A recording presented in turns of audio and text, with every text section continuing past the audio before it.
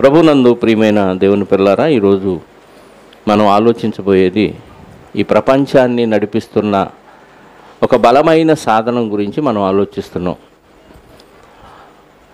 ఈ ప్రపంచాన్ని నడిపిస్తుంది ఒక మహాశక్తి. ఆ శక్తి పేరే ధనం. డబ్బు లేనివాడు డుబ్బుకు కొరగాడు. తెలుసా మీకు? సామెతలు. ధనం మూలం జగత్. మిదం జగత్. అంటే డబ్బే ప్రపంచాన్ని నడిపిస్తున్న సాధనం లేదా ఇంధనం. ఆయన ఎవరో పాట రాశాడు పాట పాడాడు. రిక్షా దొక్కి ఆయన పేరు. నారాయణరావా? నారాయణమూర్తి గారు. రిక్షా దొక్కుతూ ఆర్ఆర్కే మూర్తి గారా? ఆర్ నారాయణమూర్తి. రైట్ నా రక్తమే నా రిక్షాకు పెట్రోలు. ఇది రక్తం పెట్రోలా? రిక్షాని నడిపిస్తుంది ఏంటంట ఆ రక్తం. రక్తం ఎలా వచ్చింది? తిన్న ఆహారాన్ని బట్టి కదా. ఆహారం తింటే రక్తం వచ్చింది. రక్తం ఖర్చు పెడితే ఆవిరైపోయి ఇంధనంగా మారి ఆ వాహనం నడిచిద్ది. అది రిక్షా కానీ ఏదైనా. అందరూ పెట్రోల్ కొడుచుకొని బండి తిప్పుతారు. నా నేను నా స్వ హస్తాలతో సొంత కాళ్ళతో రిక్షా తొక్కుతూ నా రక్తాన్ని చెమటగా మార్చి రిక్షాన్ని నడిపిస్తున్నాను అని పాడతాడు కదా.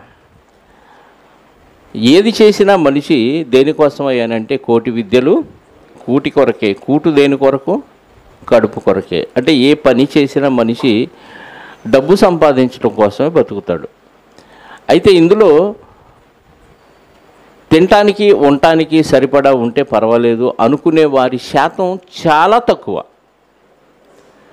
అందులో భక్తులు కూడా ఉండటం విశేషం.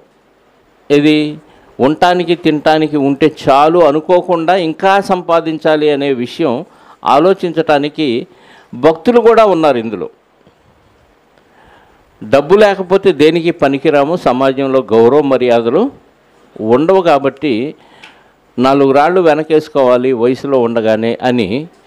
మరి ఎక్కువ మంది పాటు పట్టడానికి కారణం ఏంటంటే అపవాది దేవునితో పోటీగా మనిషి దేనికి బానిసైపోతాడు దేనికి లోబడతాడు అంటే శరీర సుఖాలకు లోబడతాడు. కాబట్టి దేవునితో పోటీగా మనిషిని గెలవాలంటే మనిషిని లోపరుచుకోవాలంటే వీడికి ఒక ఆశ కల్పించాలి. అదే ధనాపేక్ష అనే ఆశ. డబ్బు సంపాదించాలి అనే ఆశని మనిషికి కల్పించాలని దేవునితో పోటీగా ధనాన్ని రంగంలోకి దించాడు. ఒక మాట చూద్దాం లోకాసు వార్త లేదా మత్తీసు వార్త ఆరో అధ్యాయము. మత్తీసు వార్త ఆరో అధ్యాయము. ఇరవై నాలుగో వచనం చూద్దాం. మత్తీసు సువార్త ఆరో అధ్యాయము ఇరవై నాలుగో ఎవడును? ఇద్దరు యజమానులకు దాసుడుగా ఉండనేరడు. అతడు ఇద్దరు యజమానులంట ఏదో ఒక యజమానికి నువ్వు దాసుడుగా పనిచేయాలి ఒక యజమాని దగ్గర ఉంటే ఈ యజమానికి ఉండలేవు. ఈ యజమాని దగ్గర ఉంటే ఆ యజమానికి దాసుడుగా ఉండలేవు. అంతే కదా? అతడు ఒకరిని ద్వేషించి ఒకరిని ప్రేమించును లేదా ఒకని పక్షముగా నుండి ఒకరిని తృణీకరించును. మీరు దేవునికిని సిరికిని దాసులుగా ఉండ నేరరని నేరరు అంటున్నాడు. దేవునికి సిరికి. ఉంటే దేవునికి దాసుడు అవుతాడు లేకపోతే సిరికి దాసుడు. సిరి అంటే సంపద. సంపద అంటే డబ్బే. అది ఏ రూపంలో కొన్నా ఆస్తుల రూపంలో కానీ స్థలాల రూపంలో కానీ బిల్డింగుల రూపంలో కానీ తోటల రూపంలో కానీ బంగారు రూపంలో కానీ ఏ రూపంలో ఉన్న ఫైనల్గా అది ఏంటి అని అంటే నీ ధనం నీ ఆస్తి. దాన్ని సిరి అంటారు. అంటే దేవునితో పోటీగా ఏది సమాజంలో కనపడుతుంది? ఏది? డబ్బు. ఏమంటే నిజంగా దేవుడు ఎక్కడా డబ్బు ఎక్కడా దేవుడికి డబ్బుకి అస్సలు ఏమన్నా పోలిక ఉందా? డబ్బును కరిగిస్తే ఏమైద్ది? చెప్పండి. అది వెండి నాణ్యం కానీ బంగారం నాణ్యం కానీ ఇత్తడి నాణ్యం ఇనప నాణ్యం ఏ నాణ్యం అయినా సరే కరిగిస్తే ఏమైద్ది? కరిగిపోద్ది. ఆ కరిగిన ద్రవాన్ని కూడా లేకుండా చేయొచ్చు మనం. అంటే క్షయమైపోయే డబ్బు ఎక్కడ అదే నోటైతే ఎవరికైనా చింపేస్తే చిరిగిపోయిద్ది కాల్ చేస్తే బూడిదైపోద్ది. మరి దేవుడు ఎక్కడా? డబ్బు ఎక్కడా అని మనం ఆలోచిస్తే దేవుడు అక్షయుడు. అంటే నాశనము లేనివాడు. మరి నాశనం అయ్యే డబ్బు దేవునితో సమానంగా ఎలా పరిపాలించగలుగుతుంది? యజమానుడిగా ఎలా ఉండగలుగుతుంది? అంటే మనుషులందరూ దానికి ఇచ్చిన ప్రాధాన్యత అంత గొప్పది. దేవుడి స్థానంలో డబ్బుని పెట్టారు ఇటు పక్క. నువ్వు దేవుణ్ణి సేవిస్తే దీన్ని ద్వేషించాలి డబ్బుని. డబ్బుని సేవిస్తే దేవుణ్ణి సేవించవు. అంటే రెండిట్లో దేనికో దానికి నీ ఓటేయాలి. ఇద్దరికి ఓటేస్తారు ఎవరన్నా? ఇద్దరికి ఓటేస్తే ఓటేమైంది? మురిగిపోద్ది. నువ్వు డబ్బు దేవుడు రెండు కావాలంటే అవ్వా బువ్వా కావాలంటే కుదిరిద్దా కుదరదా? నీ ఓటు మురిగిపోద్ది. నువ్వు కూడా తర్వాత మురిగిపోతావు. అంటే రెండు పడవల మీద కాలు పెట్టడం అనేది ఇంపాసిబుల్ ఒకవేళ పెడితే నీ పంగే చీలిపోద్ది. ఈ పడవ ఇటు వెళ్ళిద్ది ఈ పడవ ఇటు వెళ్ళిపోద్ది. నీళ్ళల్లో నన్నబడతావు లేకపోతే రెండు కాళ్ళు విడిపోతాయి. దేవుడు ఖచ్చితంగా చెప్తున్నాడు ఎవరు ఇద్దరు యజమానులకు దాసుడుగా ఉండ నేరడు అంటున్నాడు. ఒకరిని ద్వేషించాలి ఒకరిని ప్రేమించాలి. లేదా ఒకని పక్షాన నువ్వు చేరితే రెండవ వ్యక్తిని తృణీకరించాలి అంటున్నాడు. ఇప్పుడు పంతొమ్మిదవ వచనం నుండి చదువుదాం. అదే ఆరో అధ్యాయము. అదే మత్తయి సువార్త పంతొమ్మిదో వచనం. భూమి మీద లోకం ఏం చెప్తుంది? భూమి మీద మీ కొరకు ఎప్పుడు? ఎప్పుడు కూర్చుకోమంటుంది? వయసు ఉండగానే ఆరోగ్యం ఉండగానే సత్తు ఒంట్లో సత్తువ ఉండగానే. రెండు చేతుల సంపాదిస్తే కుదిరిద్దా? నాలుగు చేతుల సంపాదించాల నాలుగు చేతులు అంటే భార్యాభర్తలు ఇద్దరు పని చేయాలి. ఇంకా అవసరమైతే ఇంకో రెండు చేతులు కూడా యాడ్ చేస్తారు. పిల్లలను కూడా ఏ మెకానిక్ దగ్గరకో ఏ కూలీ పనికో పంపించేస్తారు. ఇప్పుడు ఇంట్లో ఎన్ని చేతులు పనిచేస్తాయి? ఆరు చేతులు. ఎందుకు? భూమి మీద మీ కొరకు ధనము కూర్చుకొనుడి అన్నాడా ప్రభు? అనలేదు. అంటే అసలు ఇంకా ఆరు చేతులు కాదండి. కాళ్ళతో కూడా మనం డబ్బు సంపాదిస్తాం. కదా? ఏమన్నాడు? భూమి మీద మీ కొరకు ధనము కూర్చుకొనవద్దు. ఇక్కడ చిమ్మెటయు తుప్పును తినివేయును. దొంగలు కన్నము వేసి దొంగిలెదరు. కాబట్టి పరలోకమందు మీ కొరకు ధనమును కూర్చుకొనుడి. అచ్చట చిమ్మెటయును తుప్పు అయినను దాన్ని తినివేయదు దొంగలు కన్నం వేసి దొంగిలించరు అంటున్నాడు. ఇప్పుడు యేసుక్రీస్తు వారు చెప్పిన మాట ఎంతమందికి నచ్చిద్ది నచ్చదు చెప్పండి. నచ్చిన వాళ్ళు ఎవరున్నారు ఇక్కడ? ఏమన్నాడు? కూర్చుకోమన్నాడా? వద్దన్నాడు?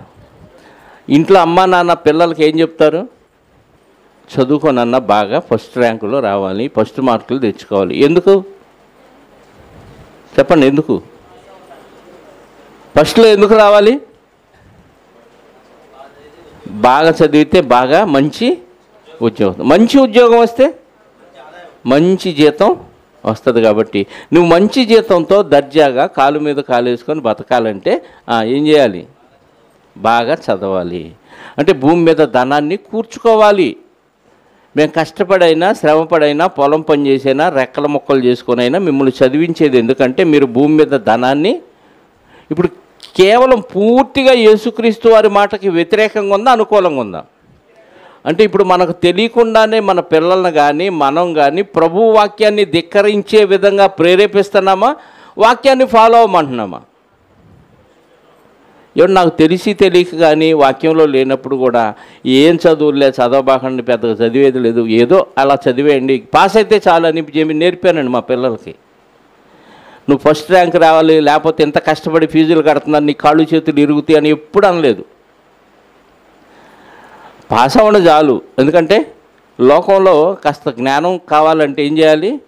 చదువుకోవాలి కాబట్టి ఆ చదువు కోసమే చదివించానే తప్ప ఫస్ట్ ర్యాంకులు రావాలని ఎప్పుడూ పిల్లల్ని ఒత్తిడి చేయలేదు నేను.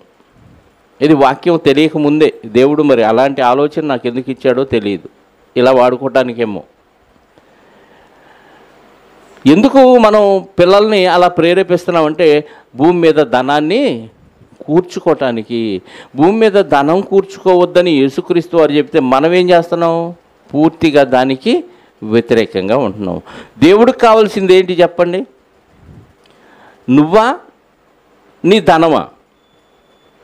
దేవుడికి కావాల్సింది నీ డబ్బా నువ్వేనా? చెప్పాలి. మనం కావాలా? దేవుడికి మనం సంపాదించిన డబ్బు కావాలా? మనిషే కావాలి. కింద మాట చదవండి. ఇరవై ఒకటో వచ్చిన నీ ధనమెక్కడ ఉండునో నీ హృదయం లబ్బు డబ్బు అనదో డబ్బు డబ్బు అంటది అంటున్నాడు. ఏమంటది? హృదయం? బీరువాలో డబ్బు డబ్బు బ్యాంకులో డబ్బు డబ్బు. ఇంకా?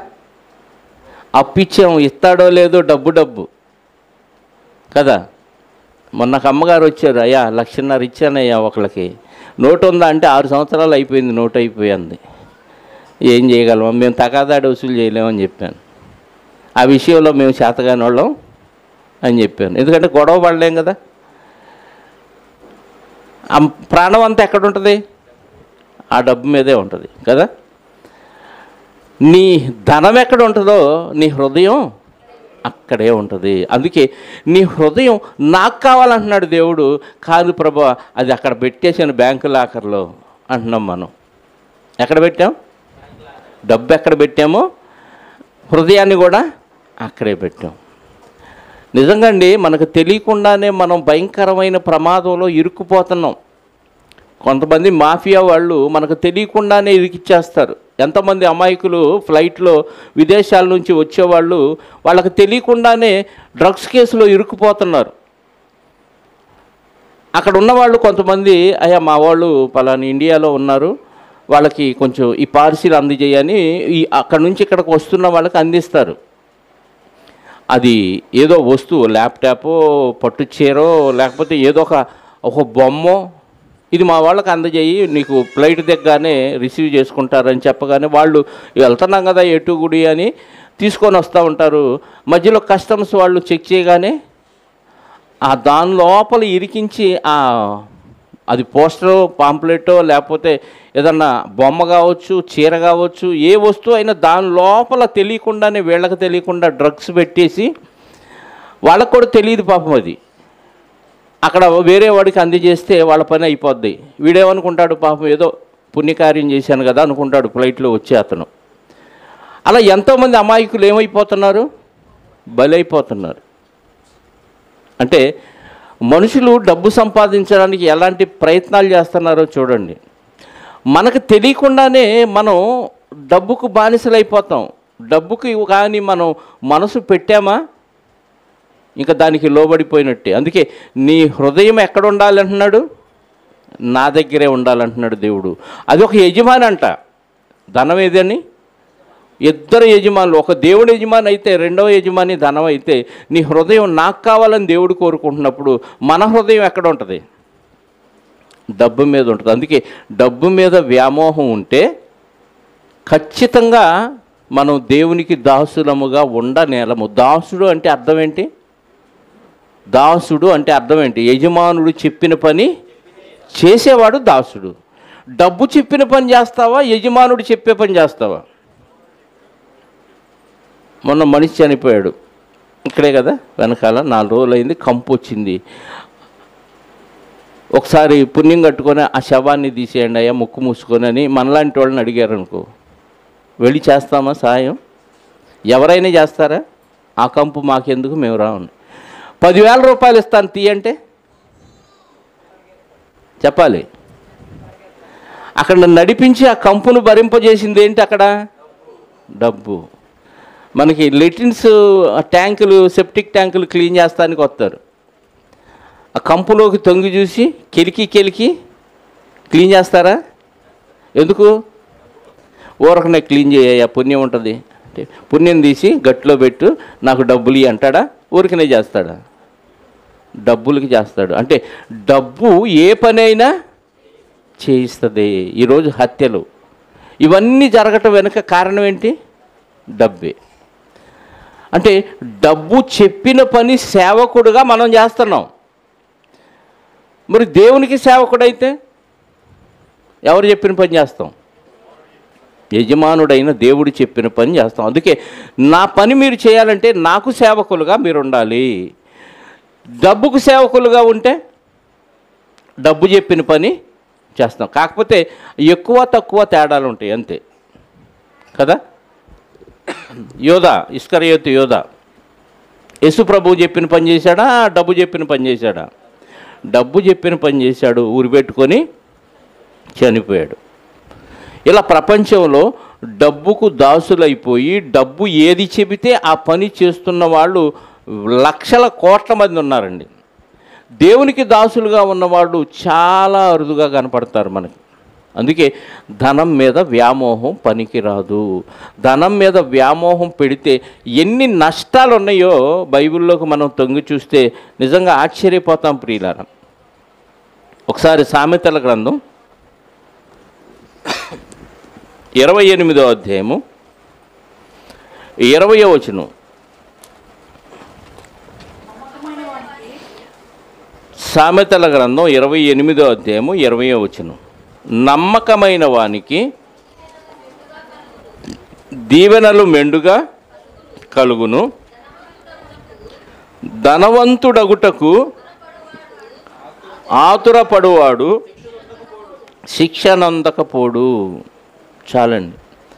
డబ్బు సంపాదించాలనే తొందరపడేవాడికి శిక్ష ఖచ్చితంగా కన్ఫామ్ అంటున్నాడు దేవుడు. అంటే ఎప్పుడు శిక్ష? ఎక్కడైనా? తర్వాత మరణం తర్వాత. మరణం తరువాత. ఖచ్చితంగా నరకానికి వెళ్ళిపోతాడు. ధనం సంపాదించాలనే ఆలోచన ఉంటే చాలు. దానికోసం ప్రయాసపడే ఆతృత పడేవాడు ఖచ్చితంగా శిక్షణ అందక పోడు. ఆరో వచనం కూడా చూడండి.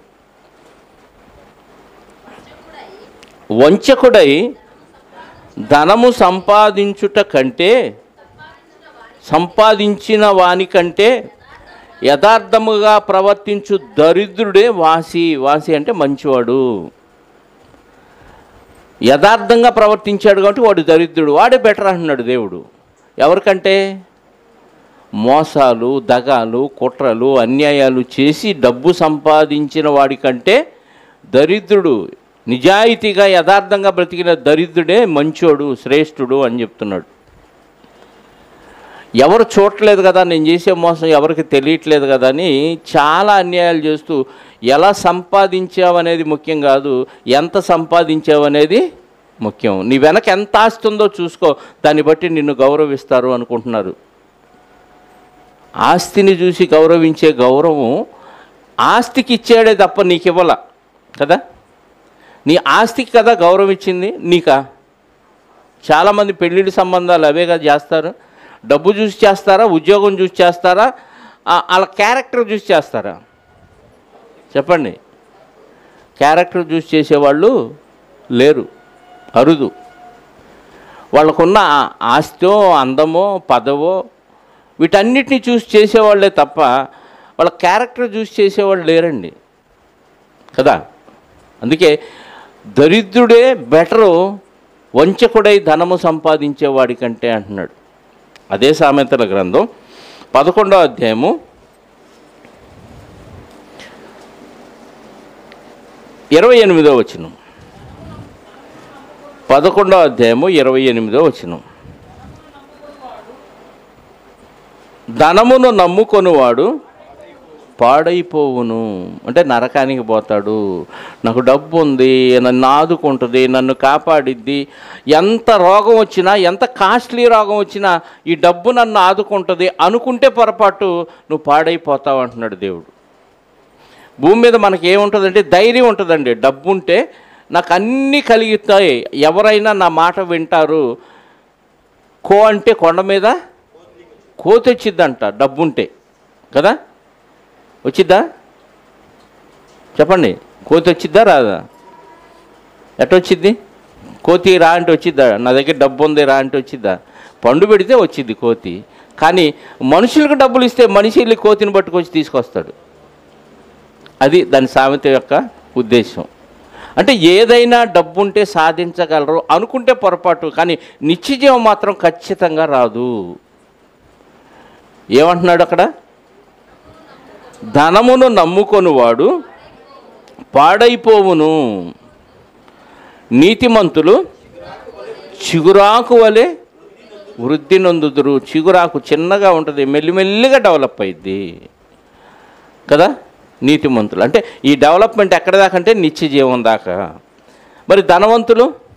ధనాన్ని నమ్ముకున్నవాడు పాడైపోతాడు. అంటే నరకానికి పోతాడు అని అర్థం.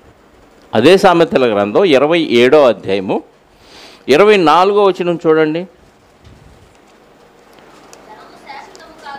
ధనము శాశ్వతము కాదు. కిరీటము తరతరములు. పదవి ఎంతకాలం ఉంటుంది? కిరీటం అంటే పదవి. ఎంతకాలం? మన ప్రభుత్వం ప్రకారంగా ఐదేళ్ళు. ఒకవేళ నిన్నే రాజుగా చేశారనుకుందాం లేదా వార్డు కౌన్సిలర్గా చేశారనుకుందాం ఎంతకాలం ఇస్తాడు? ఐదేళ్ళు ఇస్తాడు. తరతరాలు నీ తాతరం తర ఆ తర్వాత బిడ్డ తరం మనవడ తరాలు ఉంటుందా? ఉండదు. మరి ధనం? ధనం ఏమంటున్నాడు? శాశ్వతంగా ఎవరి దగ్గర? ఉండదు. ఇప్పుడు నీ దగ్గర ఉన్న నోటు ఏదైనా ఉందంటే అది ఎన్ని చేతులు మారి నీ దగ్గరకు వచ్చిందో. కదా? ఎంతమంది నాకి నాకి దాన్ని అంటుకొని లెక్క పెట్టారు. కదా? అందరు ఎంగిలి జేబులో పెట్టుకొని కళ్ళకద్దుకుంటున్నాం కదా? ఎన్ని చేతులు మారింది? కదా? అది ప్రింట్ అయ్యి బయటకు వచ్చిన దగ్గర నుంచి ఎన్ని వేల చేతులు మారిందో చూడండి. ఒక్క చోట స్థిరంగా అది నిలబడదు. కదా? కానీ మన దగ్గరికి వచ్చినప్పుడు మాత్రం మనం ఉప్పొంగిపోతూ ఉంటాం. అది చూసుకొని అందుకే తరతరాలు అది ఉండేది కాదు. అదే సామెతల గ్రంథం. మరొక వచనాన్ని కూడా చూద్దాం. పదిహేనో అధ్యాయం. పదహారో వచనం. నెమ్మది లేకుండా విస్తారమైన ధనముండుట కంటే యహోవా అందలి భయభక్తులతో కూడా కొంచెము కలిగి ఉండుట మేలు. ఏమంట? నెమ్మది లేకుండా విస్తారమైన ధనముండుట కంటే యహోవాయందలి భయభక్తులతో కూడా కొంచెము కలిగి ఉండటం మేలు. అంటే ఎంత డబ్బున్నా వీడికి మనశ్శాంతి లేదు. నిజం అండి నా నా ముందు నేను చాలామందిని చూశాను బాగా డబ్బు ఉంటుంది కానీ ఒకసారి వాళ్ళని కదిలిచ్చి చూడండి పర్సనల్గా. ఏంటి అలా ఉన్నావు అని ఒక్క మాట అడగండి ఎవరు లేనప్పుడు. ఏడుపు ఒకటే తక్కువ. చాలామంది నా దగ్గర షాపులో అలా వాళ్ళ బాధను వెళ్ళబోసుకున్నవారు చాలామంది ఉన్నారు. ఇంత ముందు కూడా చెప్పినట్టున్నాను ఒక ఆయన ఇలా వ్యక్తపరిచాడు బాగాని బాగా డబ్బు ఉంది అరండాలపేటలో ఇల్లు ఉంది మంచి గవర్నమెంట్ జాబ్ ఉంది. కూతురుకి పెళ్ళి చేశాడు అల్లుడు సరిగా చూసుకోవట్లే. భక్తుడని అని నమ్మి చేశాడు. భయంకరంగా ఉంది పరిస్థితి. పుట్టింటికి పంపించేశాడు. ఇక్కడ తీసుకెళ్ళి వదిలిపెట్టినా మళ్ళీ పంపించేస్తున్నాడు. డబ్బు డబ్బు అని వాళ్ళు వీళ్ళని ఇబ్బందులు పెడుతున్నారు. ఎవరు లేరు కాబట్టి ఏడ్ చేశాడు షాపులో. ధనం ఉందా అంటే విస్తారంగా డబ్బు ఉంది. కట్నం కూడా గ్రాండ్గా ఇచ్చి చేశాడు. కానీ నెమ్మది లేదు. నా నా చుట్టుపక్కల నా షాప్ పక్కల వాళ్ళు అంటారు ఎప్పుడు చూసినా హ్యాపీగా ఉంటావు అసలు దిగులు మొహంలో కనపడదేంటి చింతపడ పడినట్టుగా కనపడరేంటి? అని అంటారు. నేను చెప్తాను చక్కగా.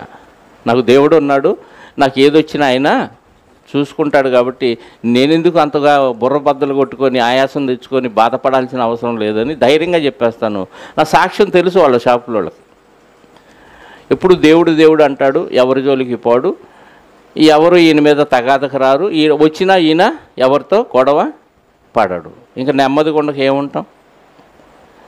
నిజంగా ఈ మాటలు మనం ఆలోచిస్తే డబ్బు ఎంత ప్రమాదకరమైందో మనకు అర్థమవుతుంది. దానికోసం ప్రాకులాటం వల్ల ఆయాసం దొక్కం తప్ప ఏమీ లేదు. ఇక్కడ అదే చనిపోయిన తర్వాత శాశ్వత కాలం నరకానికి వెళ్ళిపోతామండి. ఖచ్చితంగా చెప్పాడు యేసుక్రీస్తు వారు ధనవంతుడు పరలోక రాజ్యంలో ప్రవేశించుట ఒంటె సూది బెజ్జములో దూరుట కంటే దూరుటే సులభం అంటున్నాడు. ఒంటె సూది బెజ్జంలో దూరిద్దా? దూరిద్దా? అటు సూర్యుడు ఇటు పొడిచిన నేను చెప్పిన మాట మాత్రం ఖచ్చితం అంటే పొడుస్తాడా? పొడుస్తాడా పొడవనా? అంటే అసాధ్యం. అదన్నా జరగవచ్చేమో కానీ ఇది మాత్రం ఖచ్చితంగా అస్సలు జరగదు అని అర్థం. అసాధ్యమైందే జరగవచ్చేమో కానీ ఇది దానికంటే ఘోరంగా జరగనే జరగదు అని అర్థం. ఎందుకంటే మనం ఎప్పుడైతే దాని మీద మనసు పెడతామో అది మనల్ని నరకానికి తీసుకెళ్ళిపోతుంది. మనం దాని పని దాని మాట విని దానికి దాసులు అవుతాం తప్ప దేవునికి దాసులుగా మనం ఉండలేము. దేవుడికి ధనవంతులంటే ఏం కోపం కాదండి. దేవుడికి ధనవంతులంటే కోపం కాదు. ఎందుకంటే దేవుడి మాట వినకుండా డబ్బు మాట వాళ్ళు వింటారు కాబట్టి భవిష్యత్తు ఎరిగిన దేవుడు చెప్పాడు ఆ మాట అంతే తప్ప ధనవంతులంటే దేవుడికి నచ్చదండి. ఆయనకి ఇష్టం లేదండి పక్షపాతండి అందరికంటే ధనవంతుడి దేవుడే మరి. యేసుక్రీస్తు వారు చూడండి కొరింది మొదటి పత్రిక ఎనిమిదో అధ్యాయము తొమ్మిదో వచనం. కోరింది సారీ రెండో పత్రిక.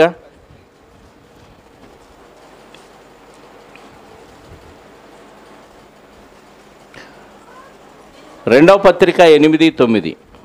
కోరిందీలకు రాసిన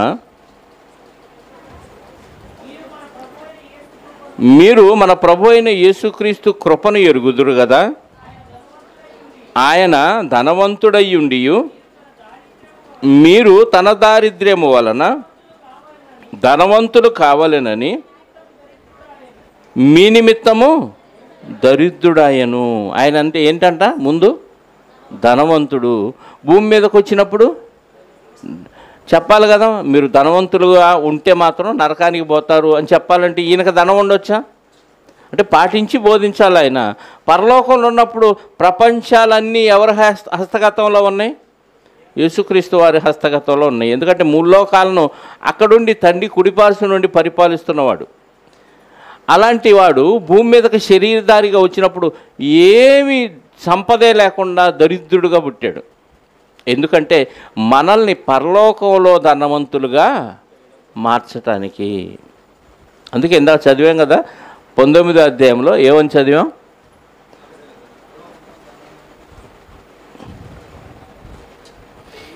మత్తయి మత్తయి పంతొమ్మిదో వచ్చిన ఆరో అధ్యాయము.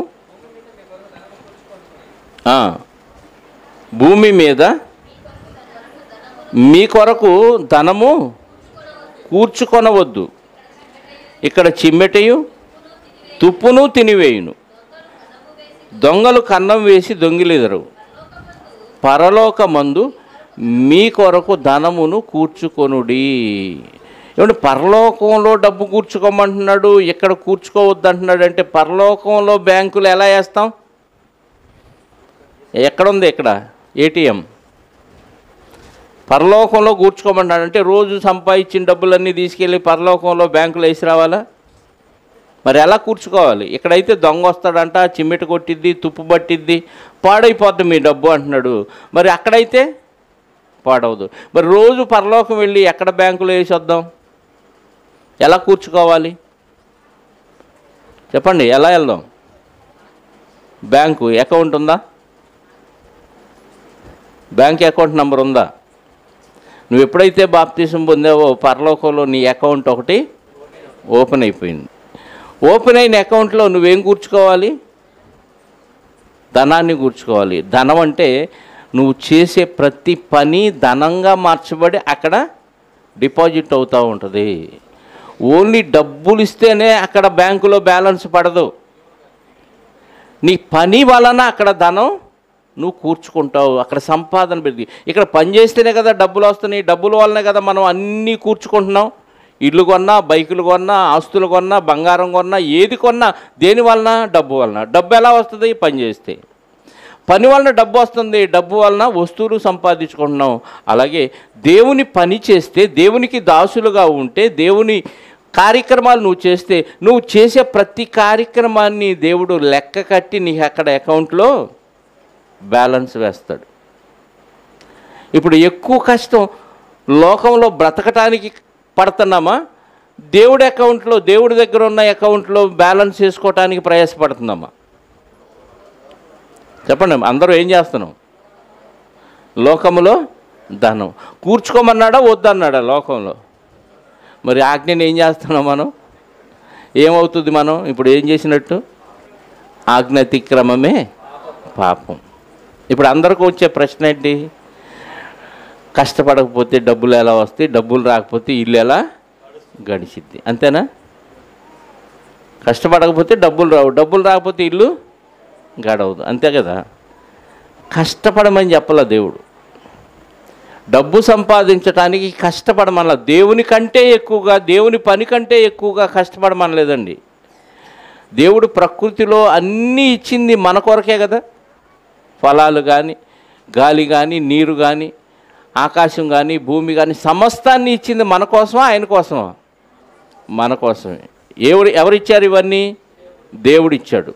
దేవుడిచ్చినవి మనకు అందేదాకా చూడాల్సిన బాధ్యత ఎవరిది? దేవుడిది. దేవుడే కదా అన్ని ఇచ్చాడు. మరి ఆయన పిల్లలమైన మనము ఆయన సేవకులుగా మనం ఉంటే అందించాల్సిన బాధ్యత ఎవరిది? దేవుడిది. ఇప్పుడు అందిస్తాడా అందించడా?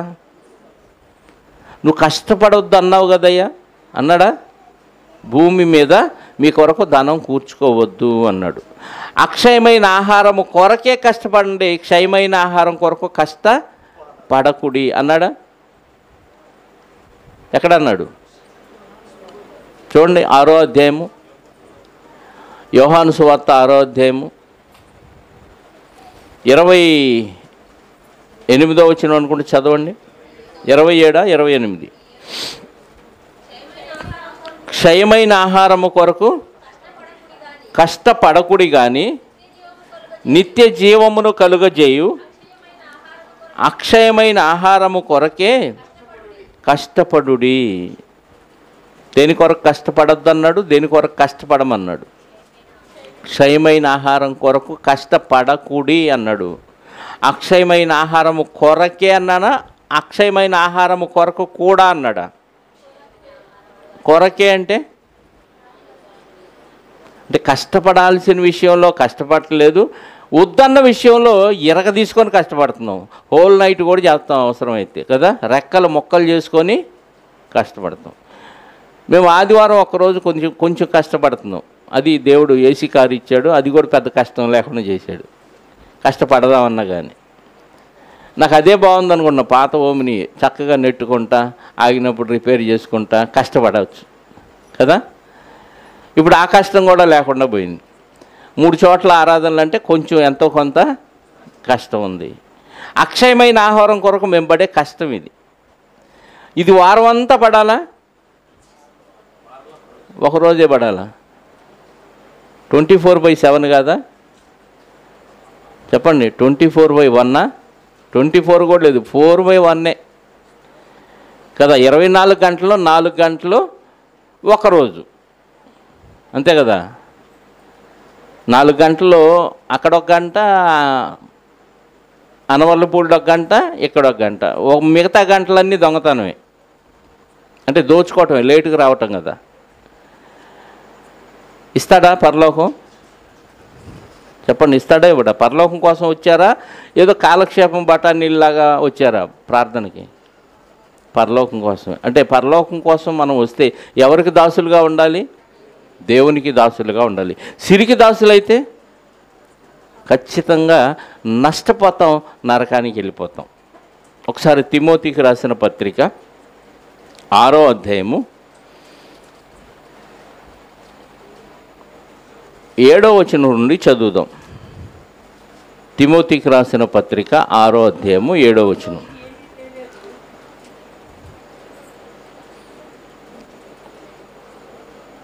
పది చదివి తర్వాత వెనక్కి వెళదాం. ఎందుకనగా ధమ ధనాపేక్ష సమస్తమైన కీడులకు డబ్బు సంపాదించాలనే ఆలోచన ఒక కీడుక రెండు కీడులుక? అంటే అన్ని కీడులు నీకు రావాలంటే ఏముంటే సరిపోద్ది? చెప్పండి. ఒక కీడు రావాలంటే ఏదో ఒకటి ఉంటే సరిపోద్ది. సమస్త కీడులు నీకు ప్రాప్తించాలి అని అంటే ఏం చేయాలి? సమస్త కీడులు ప్రాప్తించుగాక అని అంటే నాకు ధనాపేక్ష ఉంటే చాలు. ఎంత ఈజీ అండి? సమస్త కీడులు సంపాదించుకోవటానికి సమస్త ఆశీర్వాదాలు సంపాదించుకోవాలంటే నాకు దేవుడు ఉంటే చాలు అంటే చాలు. ధనాపేక్ష సమస్తమైన కీడులకు మూలమును మూలము కొందరు దాన్ని ఆశించి విశ్వాసము నుండి తొలగిపోయి నానా బాధలతో తమ్మును తామే పొడుచుకొనిరి. అంటే వాళ్ళని వాళ్ళు పొడుచుకున్నారంటే మర్డర్ చేసుకున్నారని కాదు నరకానికి పంపించుకున్నారని అర్థం. దేవుడి నుంచే తప్పించేది అంత ప్రమాదకరమా? డ- డబ్బు అంటే ఖచ్చితంగా ప్రమాదకరమే. యేసుక్రీస్తుని వెంబడించిన వాడే తప్పిపోవటానికి కారణమైందా డబ్బు? ప్రభువుని వెంబడించిన శిష్యుడు తప్పిపోవటం అంటే సామాన్యమైన విషయం కాదండి. ఈ రోజుల్లో ఒక విశ్వాసి తప్పిపోవటం అనేది మనకి పెద్ద సమస్య కాదు. ప్రభువుని వెంబడించిన ఇస్కరియోత్ యోధా తప్పిపోవటం అంటే సామాన్యమని కాదు. అంటే ప్రభువు కంటే నాకు డబ్బే ముఖ్యమనే అభిప్రాయం ఆయనకు వచ్చింది ఏది గొప్పదిగా కనపడింది? రెండిట్లో ప్రభువు గొప్పవాడుగా కనపడ్డా డబ్బు గొప్పదిగా కనపడిందా? డబ్బుదే డబ్బే గొప్పగా కనపడింది. ఇప్పుడు మనకి దేవుని వాక్యం గొప్పగా కనపడుతుందా? దే ప్ర- డబ్బు బాగా గొప్పగా కనపడుతుందా? వాక్యమే గొప్పగా కనపడుతుందండి. ఏమంటే నిజంగా విశ్వాసం అనేది మనకు ఉంటే వాక్యం పట్ల మనకు శ్రద్ధ ఉంటే ఇంకా లోకంలో ఏది మనకు గొప్పగా అనిపించదండి. నిజంగా నేను నమ్ముకున్న దగ్గర నుంచి ఒక్క ఆదివారం కూడా ఆరోగ్యంగా ఉండి ఎగ్గొట్టిన దాఖలాలు లేవు. విశ్వాసిగా ఉన్నప్పుడు సంగతి చెప్తున్నాను. ఇప్పుడు సంగతి కాదు. ఏ రోజైనా నేను ఆరాధనకు రాకుండా ఎగ్గొట్టానా? ఇప్పుడు. లేదు. విశ్వాసిగా ఉన్నప్పుడు కూడా ఆదివారం వెళ్ళకపోతే నాకు వెల్తిగా ఉంటుంది. వెళ్ళలేదంటే లేవలేని స్థితిలో మంచాన్ని ఉంటేనే వెళ్ళలేను. ఎందుకు? దేవుడు అంటే ఆసక్తి. ఎందుకంటే నిత్య జీవం ఇచ్చేది ఆయనే కాబట్టి. డబ్బు ఇవ్వదు పని ఇవ్వదు అంతకుముందు ఆదివారాలు కూడా పనిచేసేవాడిని నేను. ఆదివారాలు ఏంది? పండగ రోజు కూడా పనిచేసేవాడిని నేను. డే అండ్ నైట్ వర్కే. డబ్బు సంపాదనే ధ్యేయం. నిద్ర మానేసి మామిడి చేత టీలు పెట్టించుకొని మరీ పనిచేసేవాడిని అలాంటి వాడిని ఎప్పుడైతే నమ్ముకున్నానో మెల్లిగా ఆదివారాలు మానేయటం ప్రారంభించాను. అంటే డబ్బు మీద వ్యామోహం పోయింది. రాను రాను రాను రాను షాప్లోనే వాక్యం చెప్పటం. వాక్యం బాగా నేర్చుకొని చెప్పే విధానం వచ్చిన తర్వాత పని వచ్చినా పని పక్కన పెట్టి ఈ పని చేయటం ప్రారంభించాను.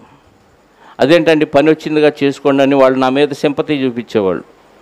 ఆ పని కంటే నాకు ఈ పని ముఖ్యం అని ఈ పని చేసి ఆ పని చేస్తే ఈజీగా అయిపోయేది నాకు ఆ పని. ఇది చేయకుండా పక్కన పెట్టి ఆ పనిలోకి వెళ్ళానుకో రోజంతా అదే పని ఎరగ తీసుకునేవాడిని అవదు. అంటే మనం దేవునికి ప్రాధాన్యత ఇస్తే దేవుని పని మనం చేస్తే ఈజీగా దేవుడు మన పని చేస్తాడనేది నేను ప్రాక్టికల్గా అనుభవించాను. ఆ కీడు నాకు రాకుండా ఉండాలంటే ధనాపేక్ష లేకుండా ఉండాలని డబ్బు మీద నిజంగా వ్యామోహమే లేకుండా పోయింది. అది దేవుడు ఏర్పాటేమో మరి తెలియదు దాని మీద నాకు ఎప్పుడూ మనసు లేదండి డబ్బు మీద.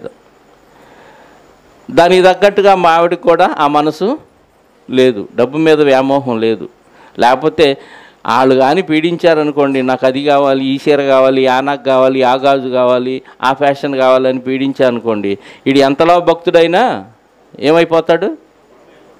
ఏమవుతాడు? ఏదో భార్యని సంతోషపెట్టాలని ఏం చేయాలి? పని చేయాలి. ఆ పని చేస్తే ఈ పని మరి?